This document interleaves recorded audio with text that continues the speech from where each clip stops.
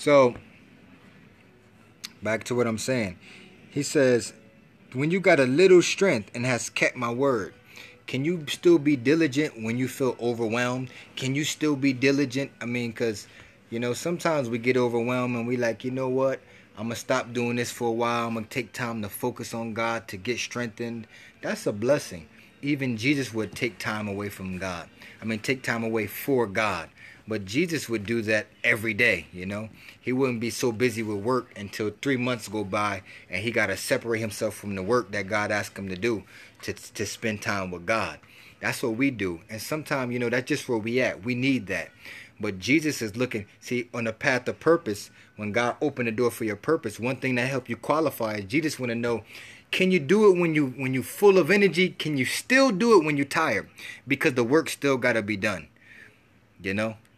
When God position you and He release you for your purpose, you still gotta do the work. You don't get to not do the work and spend time with God. Like you gotta find a way to you gotta find a way to spend time with God and get filled up with God and still do the work. You don't get to choose one or the other.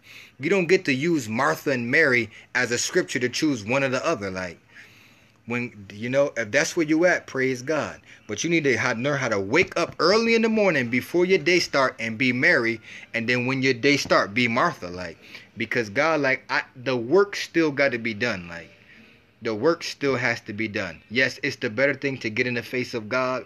Yeah, you know why it's the better thing? Because it positions you to do the work. But God's saying, listen, when you got a little strength, can you still do the work? Like, when you tired, you boggle down, can you still pull it together and do the work? I need somebody like, I need somebody that's going to carry the cross, like, you know? I need somebody that's going to carry the burden of doing my will even when you don't feel like it. Like, even though when it feels so heavy, you can't carry. See, crosses is heavy. They're not light. Jesus couldn't even carry the cross. He dropped that thing, boom, and they had to get somebody to help him carry the cross. And God will send you laborers. But God want to know, even when you tired, can you still do the work? Even when you get tired of focus on strongholds, can you still focus in and do the basic things that God asks you to do? Everybody in Royal Cloth, God gave me a word to give everyone that's working on strongholds to text five people, just starting with five people a day, every day you can judge within yourself have you been obedient to that word? Some of us feeling like god telling us we don't even have to focus on strongholds. No. Now maybe you feel like that. If that's where you at praise god. I'm not knock- knocking you. Focus on god worship god. But you're not going to qualify for your purpose and the door is not going to be open for you to walk in what god asks you until you learn these things. So it's up to you. If you want to if you want to make an 11 days journey 40 years that's up to you. But god like listen i leave you here until you get it right so we can keep making all the justifications of why we can't do the work. God, like, listen, these things still need to be done. You still need to learn how to overcome pride. You still need to learn how to overcome anger. You still need to learn how to overcome selfishness. Because you can't even walk in the fullness of your purpose until you learn it. You understand? So, and what else was some of the keys? And has not denied my name. So, can you do the work? Can you be consistent? Can you be diligent even when you don't feel like it? He said, it has not denied my name. Jesus, Jesus want people that openly profess Christ, that are not afraid to let their life, their light and their life shine for Jesus. You know, sometimes we like Peter. You know, before Peter was converted, he did this. You know, he hiding behind, he hide and conform into the world because he didn't want to be persecuted. He didn't want to be judged. He didn't want to be crucified with Christ. But how many know we can't walk in authority and walk in our purpose and reign with Christ if we don't allow ourselves to be cruci- crucified and suffer with Christ? Peter didn't want that, so he found himself hiding in the midst of the world. But the people said, You've been with Jesus. Even your speech betrayed him, and he kept denying it. You understand? God, God wants people to let their whole life be an open vessel. Now, I'm not necessarily, for you, one part of not denying Jesus may be stand on a corner and say, you know, I believe Jesus is Lord real real loud. But for somebody else, it might be simple as when God asks you to give your testimony of how you was molested, you share it even though you you think people going to be judged. That's also not denying his name. Jesus saying, listen, eh, are you willing to give yourself a sacrifice for me that if I want to use your whole life, even the embarrassing parts, even the parts that you think people will judge you, can I use your whole life as an open book? Can you can you can you be before me? Can you be vulnerable and open and let me use your whole life? It's some of you ain't you you never tell your testimony like, you know. You never tell your testimony. Why is it that you never tell your testimony? How come you've been around for people for two, three years and they don't even know your testimony in the Lord? You know? Why are you hiding your testimony? You know? That's in a sense that's denying that's denying his name. You denying what God has done for you. Like, why are you ashamed? The Bible says in Romans chapter five, it also talk about the protocol before you get validated for your purpose. It says to them that he tried, he also um let me read it before I body it. Romans chapter 5. And I believe it or not, I'm almost done. Verse 3 And not only so, but we glory in tribulations also, knowing that tribulations work as patience. And patience experience, and experience hope. And hope makes us not ashamed, because of the love of God is shed abroad in our hearts by the Holy Ghost, which is given unto us. So God set up situations to help you have the you gotta have the right attitude in those situations, patience. Through that you get you get experience, experiential knowledge, experience with God, experience in the ministry. And then through that, you know, you become to a place where you're not ashamed. You know?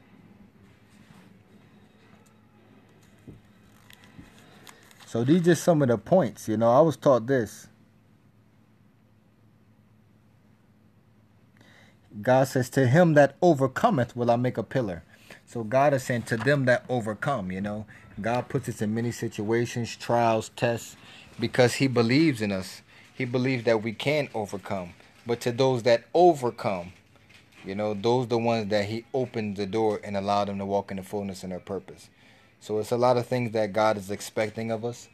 It's a lot of things, situations that God has prepared so that we can overcome. We're being tested. We're being proven. God want to validate us for our, with our purpose. He want to give us experiential knowledge with Him, experiential knowledge of the ministry. We're in a training ground.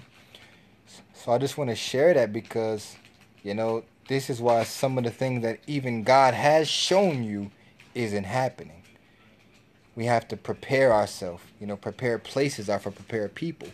The wilderness was, was designed by God to prepare people for the promised land that he had for them. Okay? Now, this will lead me to my next point, and I just read it in Romans. That another big qualifier for your purpose is we got to come to a place where we walk in love. You know, we got to come to a place where we walk in love. Because faith worketh by love.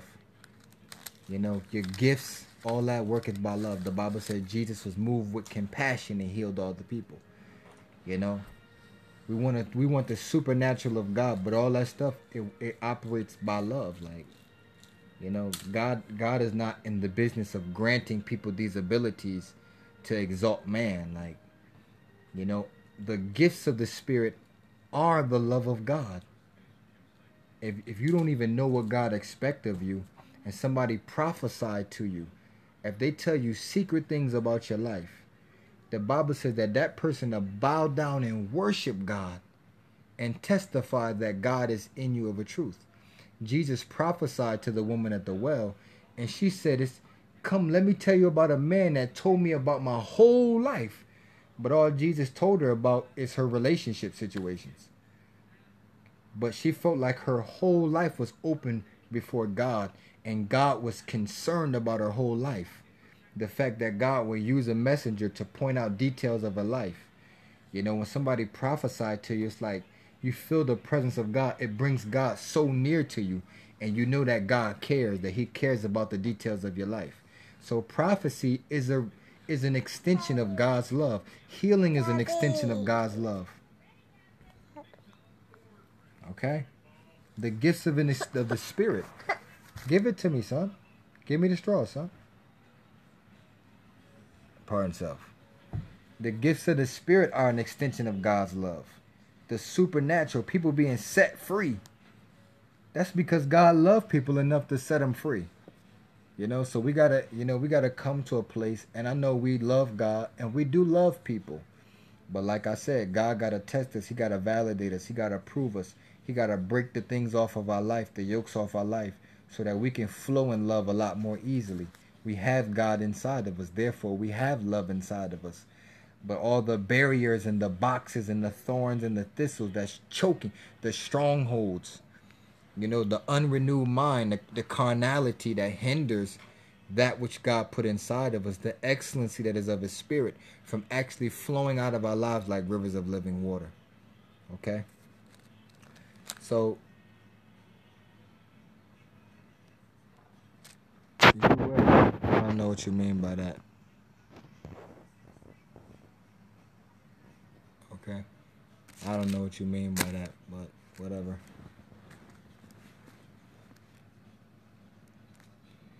So, you're welcome, sis. You're welcome. Peace and blessings. I am sent me. Yes. Why you, you know I don't I don't I don't understand why people get on and then say stuff like that. Diva on fleek.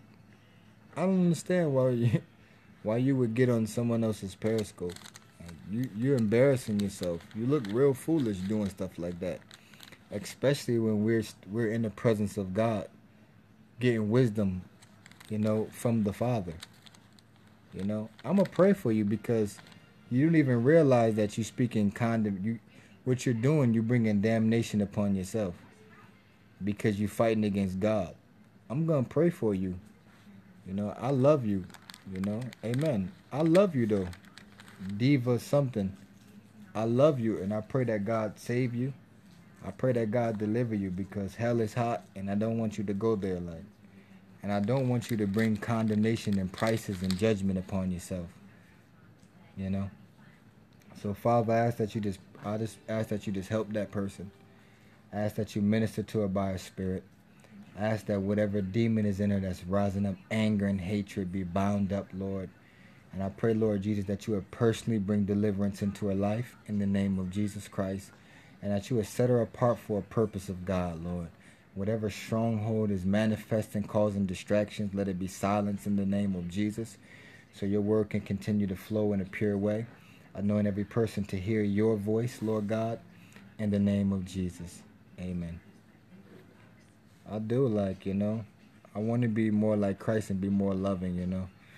So I pray that God, uh, whatever, whatever making her feel like that, you know, I pray that God will just help her, like, because that joint is crazy. You know, we reap what we sow, and prices be real. Like, we just be racking them up by doing stuff. All right, Matthew chapter 5.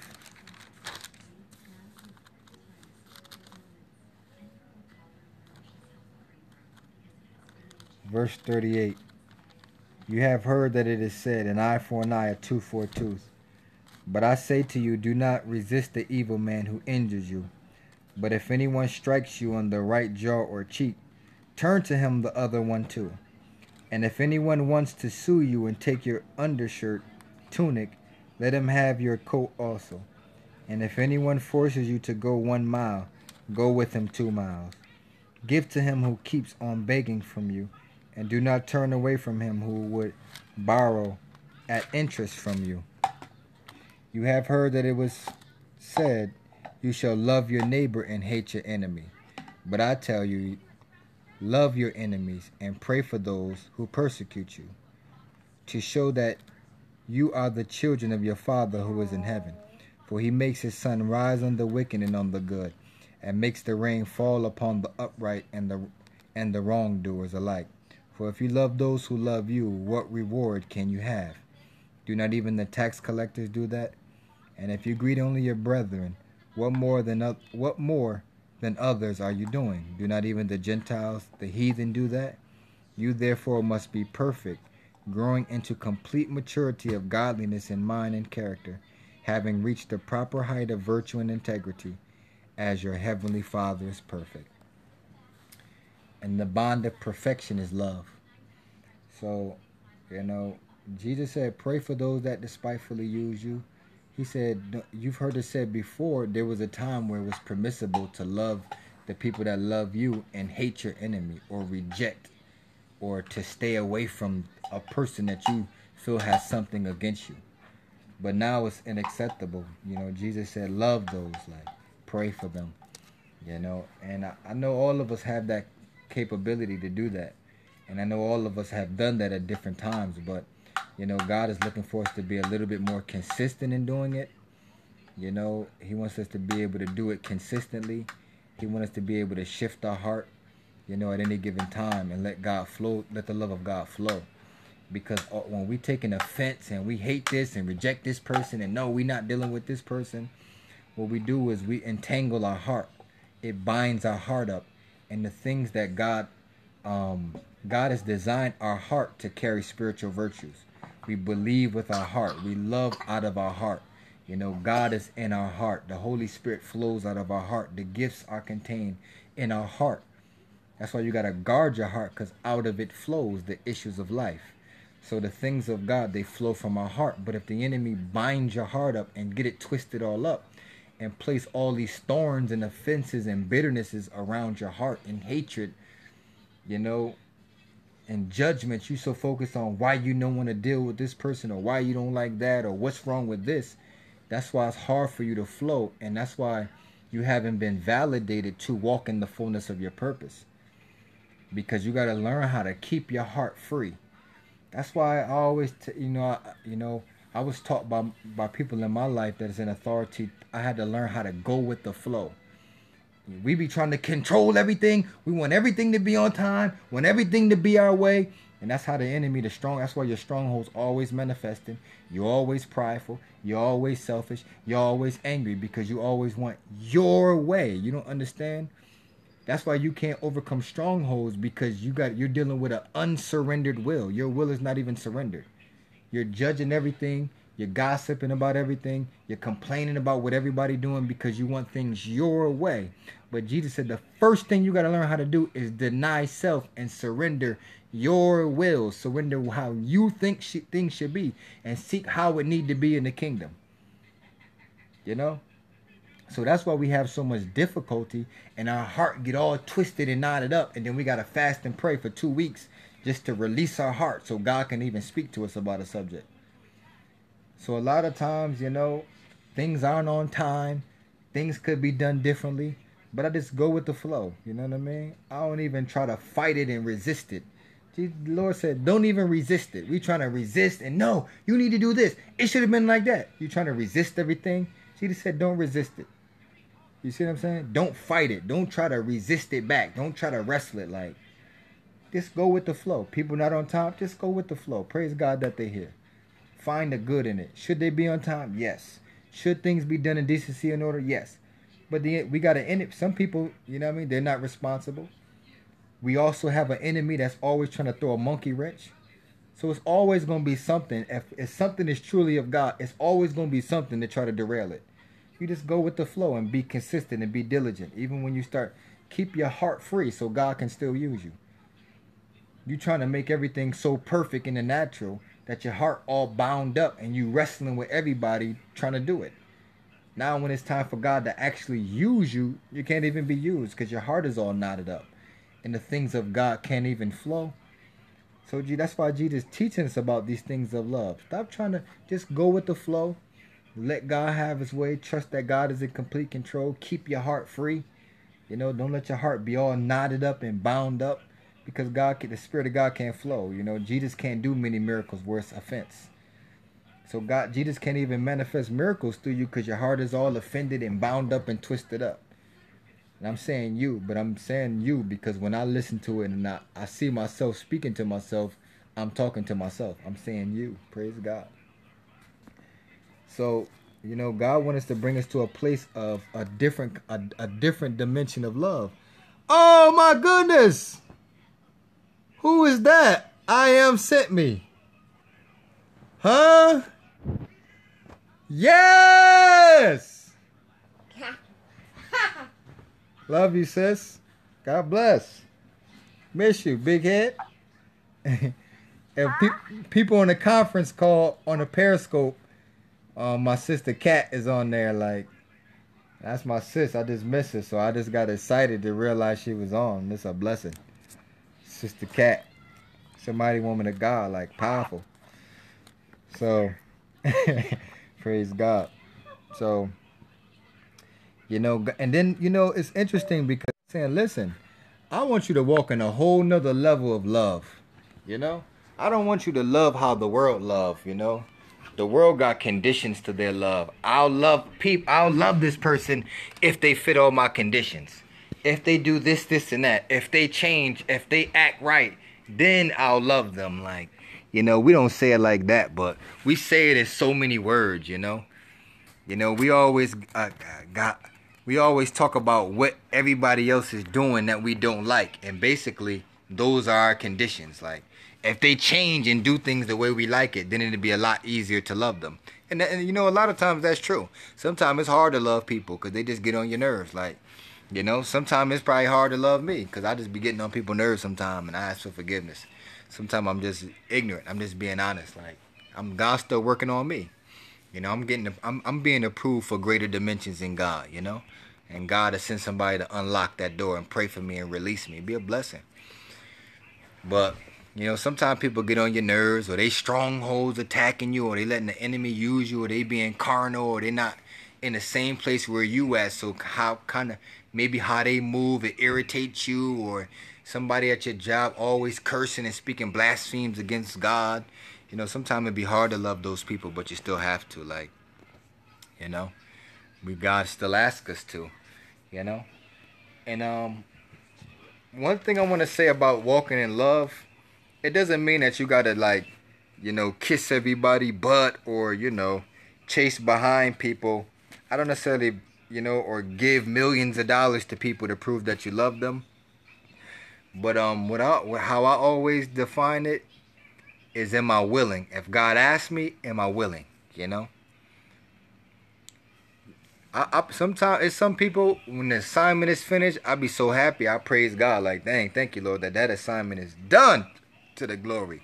I leave in, I leave them in your hands. I pray for them. I love them. You know, but I always I always have to have a willing heart that if God called me to demonstrate any measure of love or minister to that person or pray for that person, that I always have a willing heart towards God.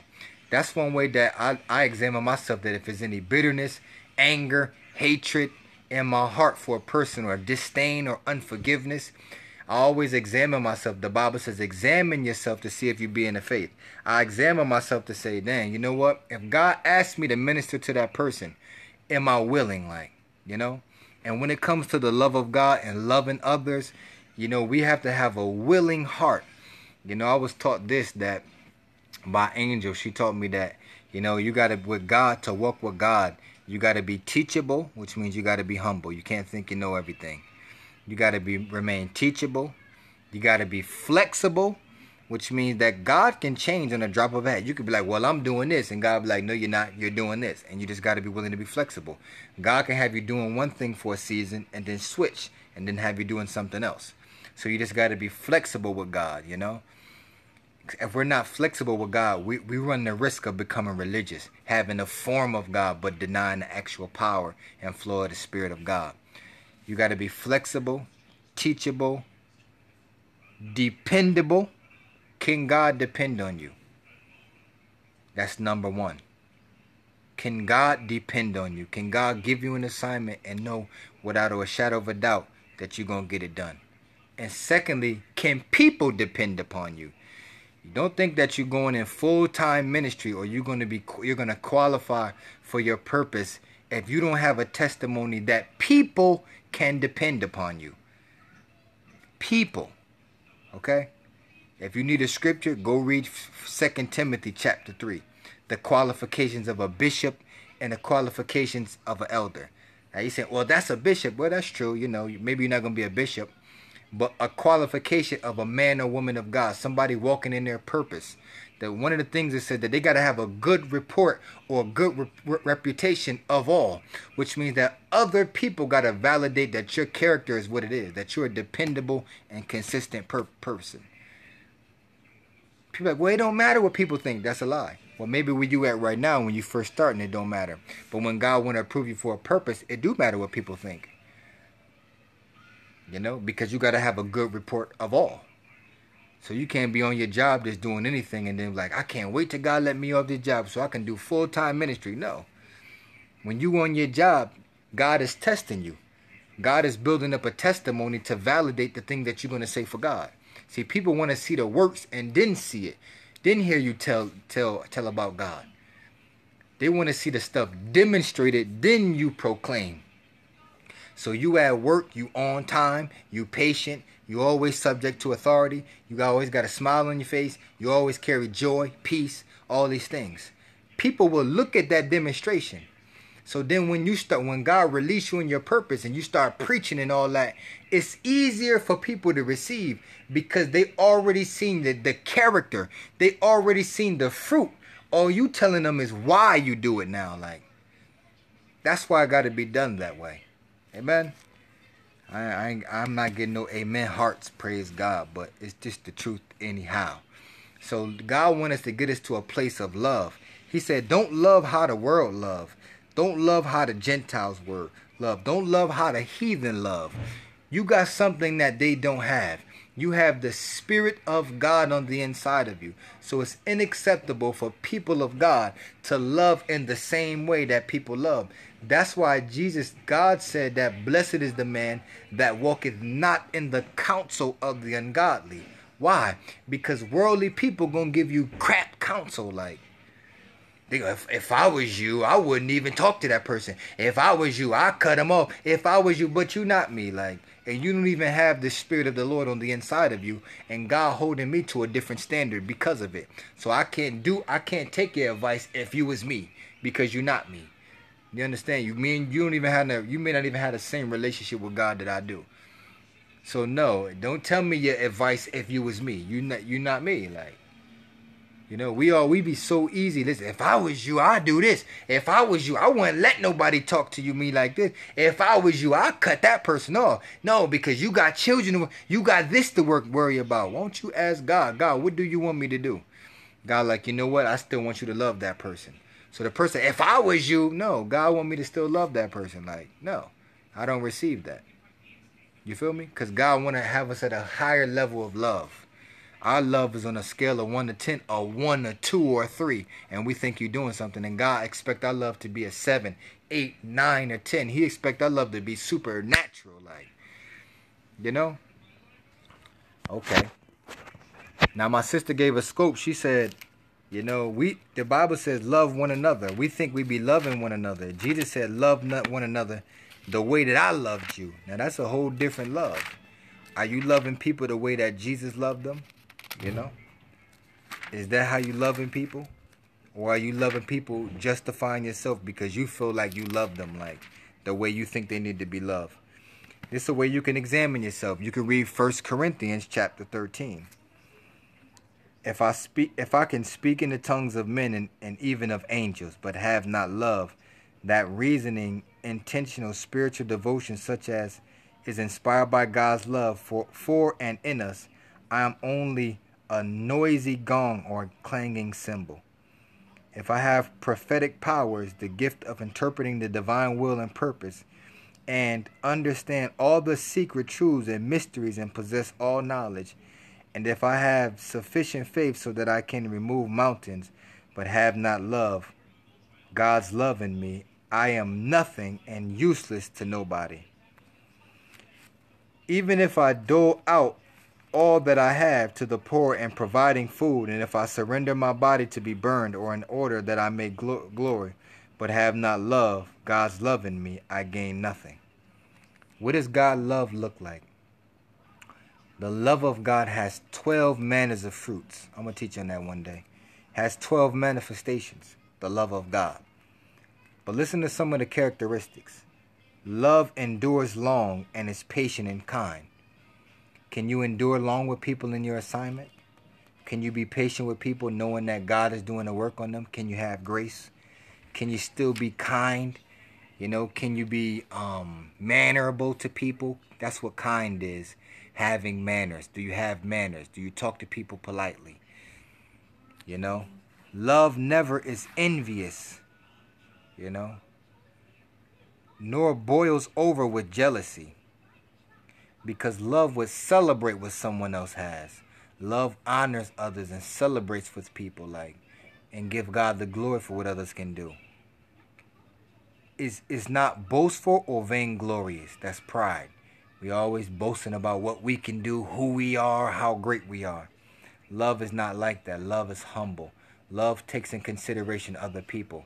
So you won't boast how great you are over someone that is weak because you're not you wouldn't be taking you you out of love you would take into consideration how they may feel if you did that. Love does not display itself haughtily or unseemingly or rude you know? Sometimes i or we can be very rude and the way we talk to people can be rude.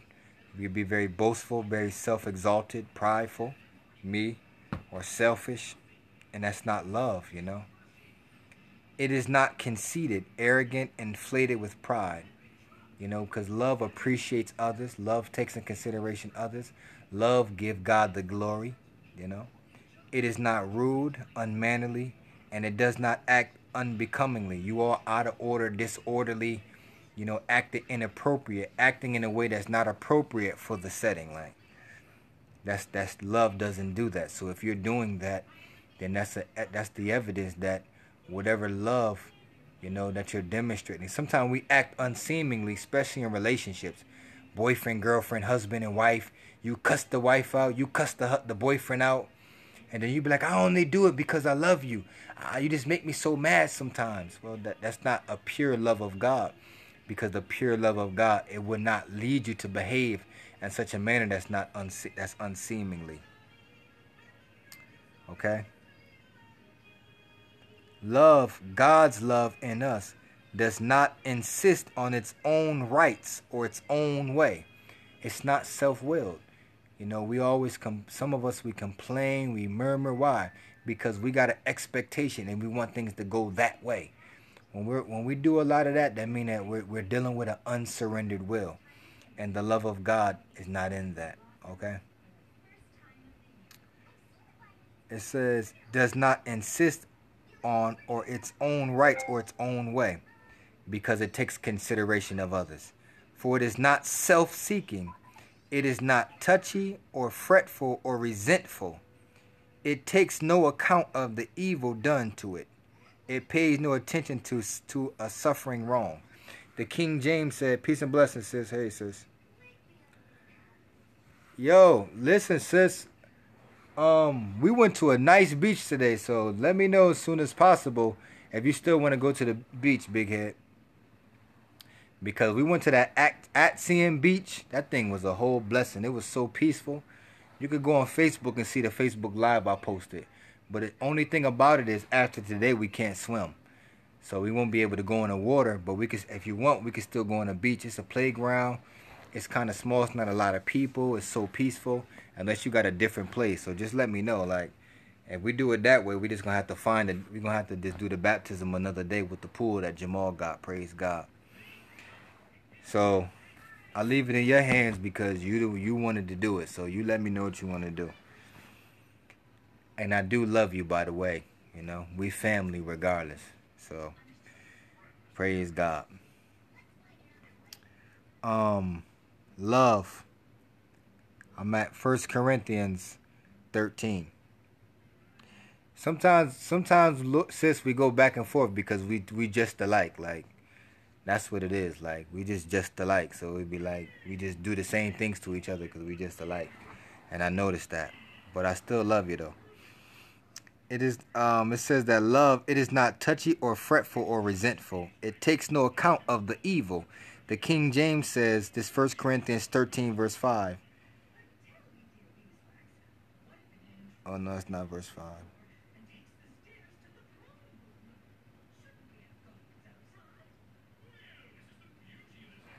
Well, it says it takes no record. In one version, I can't remember which version, but it says that love holds no record of wrong.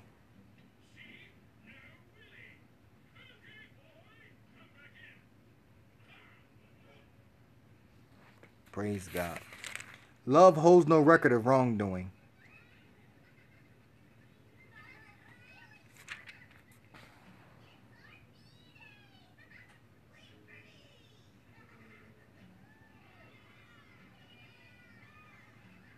I praise God. You know, so it says, it takes no account of the evil done to it. It doesn't hold a record of wrong. Like, now, you know, some of us, including myself, we judge, you know, we judge people. And you know, the Bible says that we should judge people, but use a righteous judgment. But you know, a lot of times we discern things on people's life, we notice things about people, we pay attention to people, and then we judge them, but our judgment don't be righteous. We classify them and we be like, you know what? This is this type of person, so I know how to deal with them. And then what we do is we got when you judge when when a judge judge someone, they have all the facts and the evidence that brings them to that conclusion. So that's what we do. We judge people and we got a whole list of facts and records and evidence, you know, that helps us come to the conclusion of the judgment that we have with a person. And I noticed with myself that I was that I be holding records when I get into an argument or a disagreement. See, I get in a disagreement with my wife, you know what I mean? Unfortunately, we do sometimes like we still we still a work in progress, and I praise God. I'm like, well, you said this. I noticed that I bring up something that she said two months ago, or something she did a month ago, or something she said three weeks ago. Maybe she even forgot about it, but I'm st- I still remember it. Like, and now we having an argument. I'm making conclusions about her, of of all these judgments, of all these facts, all these evidence, all these records of things that she's done. Like, that helped me come to this judgment about her where you you don't want to do this because last week you said this and the week before you did that but how is that the love of god the love of god is not taking hold of all these records of all these things that the person did against you that's where forgiveness come in you know, we want God to forgive us and throw our sins in the sea of forgetfulness and remember it no more. But we want to forgive people and remember everything they did to us. You know, I'm speaking for myself because I noticed that, you know, when I had a couple situations and a couple debates and uh, confrontations with people, that I brought up a lot of things that they've done in the past. Like, well, you said this and Last year you did this. I'm like, dang, I've been holding on that in my heart all that time. I kept that thing as a record in the file cabinet, like, just for times like this. And is that really the love of God? You know, the Bible says the way you judge, God will judge you. Do we really want to treat people like that and then, you know, have God deal with us like that? I don't really, I, I can't really afford to be in a position where God deal with me like that. Because I have prices stacked to the ceiling. You understand? So I want to demonstrate the type of forgiveness to others that I want to receive from God. Some people are like, well, what is he talking about? Well, you read the parables about forgiveness that Jesus talked about. He said that it was a king that forgave someone of an insurmountable debt forgave them. They didn't owe God, they didn't owe the king anything. And then that person turned around and held somebody accountable of a tiny debt that they owed him. And the Bible says that the king, then the king remembered the debt that he owed. And Jesus gave this a parable about forgiving, receiving forgiveness from God and also forgiving others. It said that the king remembered the debt. So God can throw it away in a sea of forgetfulness. Amen. But he also can remember. But he does that based on how you treat other people. Like, you know, it's just, just the way it's so. So I just was thinking about these things about, you know, I was examining myself. God, why isn't these things happening? Why isn't these things happening? God said, for everything that somebody got to unlock the door for you. Then it made then it made me examine myself. God, am I am I being diligent?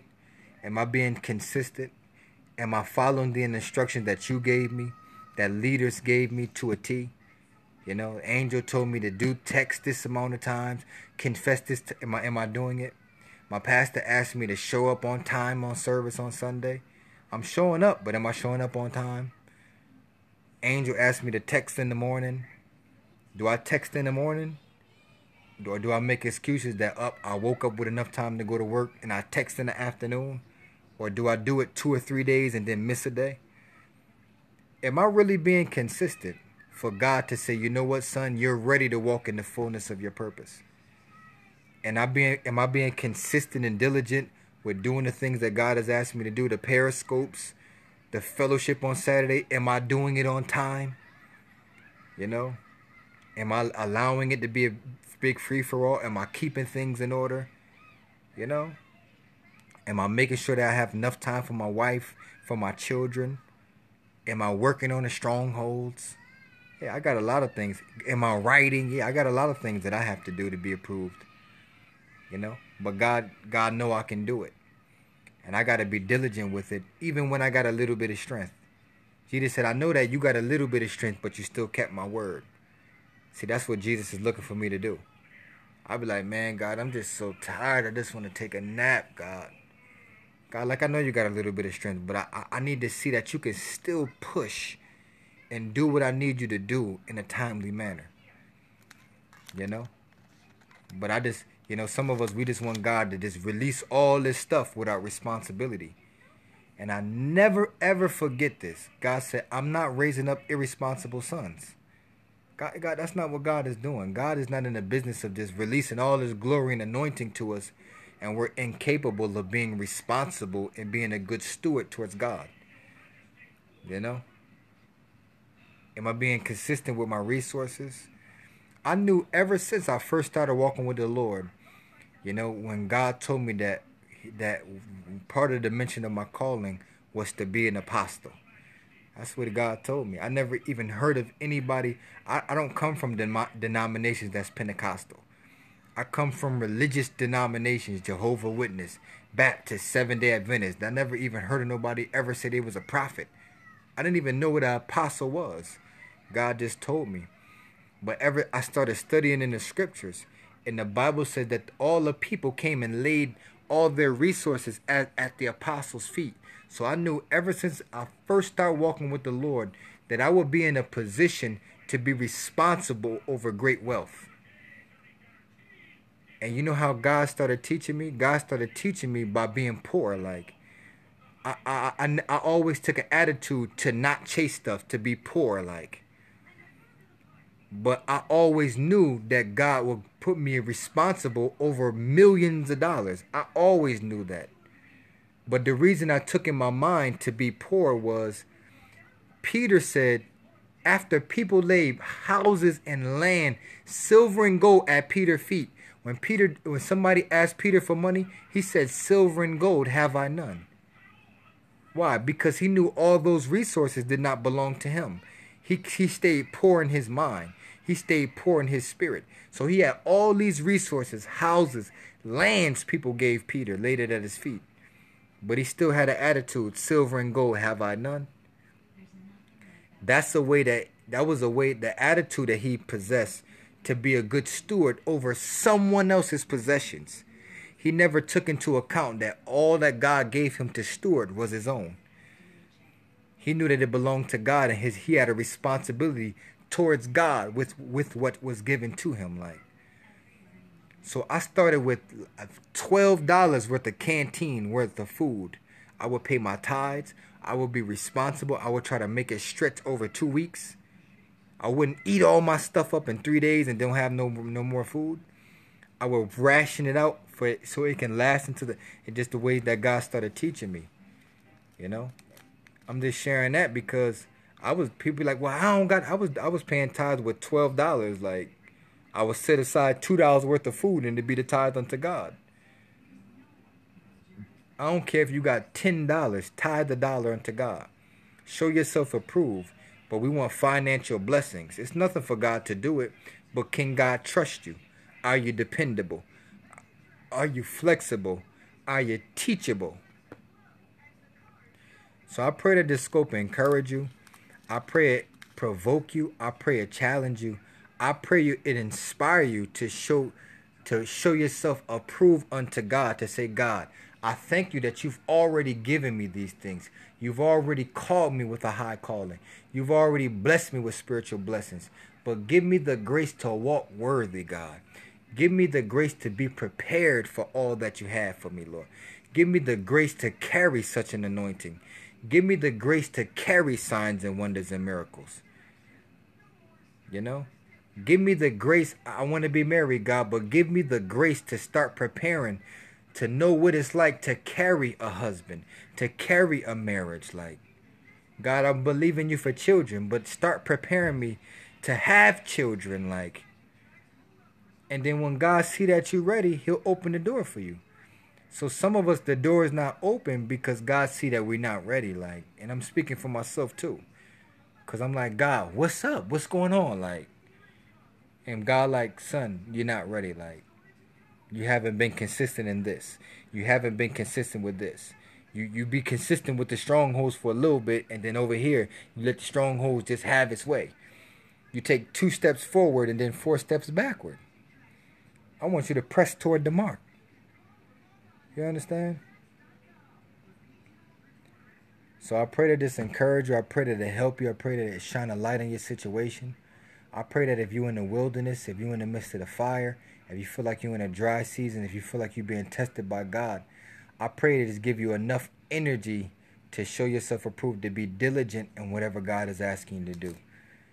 And I pray it inspire you to, to walk in a greater dimension of love.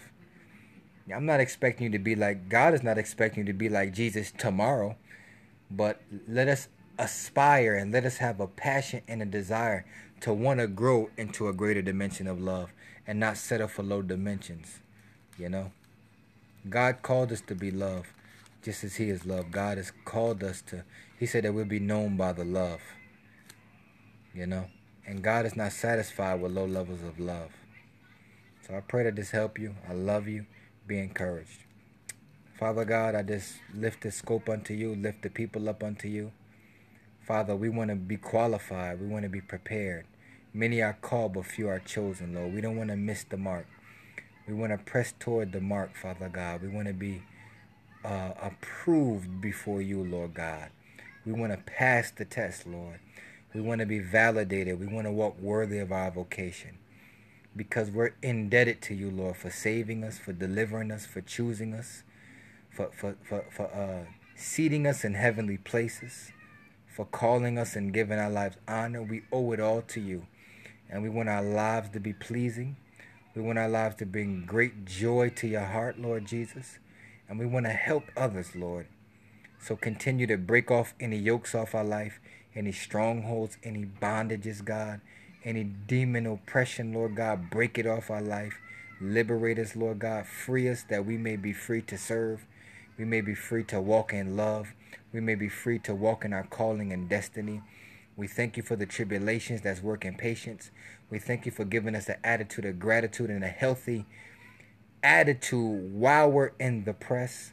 We thank you for the experiences because you know no person can qualify for a job without experience. We thank you that the love of God is shed abroad in our heart by the Spirit. We thank you, Lord, for a new desire to want to walk in love, to have a heart like David, to Look for those that we can show loving kindness to, Lord. We thank you for signs and wonders and miracles following our faith in you and validating the words that we preach in Jesus' name. We thank you that we're in the time of proving that you do believe in us, God. That you believe that we can pass the test, that we can be proven for what you called us to do. Just give us the grace to do it, Lord. In Jesus' name. Amen. Peace and blessings, family. I love y'all. May you rest in peace and enjoy the rest of your night. God bless.